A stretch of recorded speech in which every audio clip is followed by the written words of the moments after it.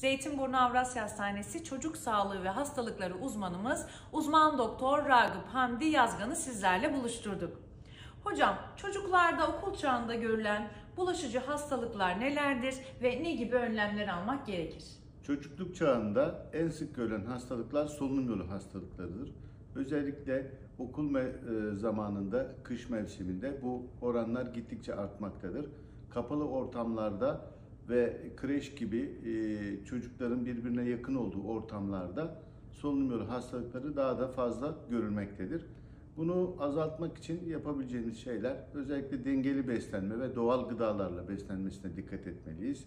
Proteinden zengin, işte köfte, sulu köfte, tavuk çorbası, yumurta, yoğurt, peynir gibi gıdalardan mutlaka her gün tüketilmesine özen göstermemiz lazım. Bunun dışında gereksiz olarak kapalı ortamlarda e, fazla kalmalarına müsaade etmememiz lazım. E, Hasta insanlardan uzak tutmaya çalışmamız lazım. Pratik olarak yapabileceklerimiz bunlar.